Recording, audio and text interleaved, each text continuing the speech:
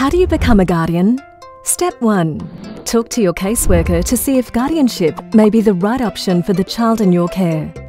Step 2. If guardianship is likely to be in the child's best interest, you'll meet with a caseworker to discuss what's involved in becoming a guardian. Step 3. If it's agreed that guardianship may be the best option for the child, you then complete a guardianship application and the caseworker arranges suitability checks.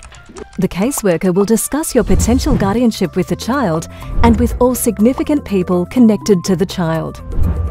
Step 4. After the suitability checks, the caseworker may arrange a guardianship assessment.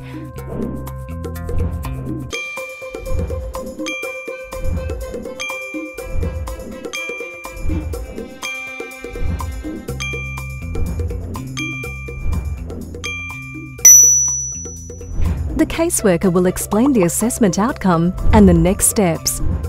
Step 5. If your guardianship application is approved, FACS and your NGO prepare guardianship documents for the Children's Court.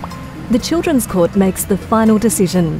The process takes time, but for the child, it's worth the wait.